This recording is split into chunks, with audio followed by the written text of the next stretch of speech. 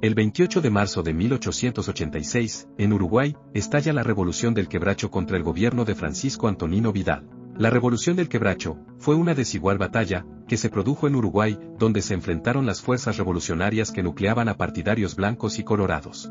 Al mando de José Miguel Arredondo y Enrique Castro, con las fuerzas del gobierno de Máximo Santos.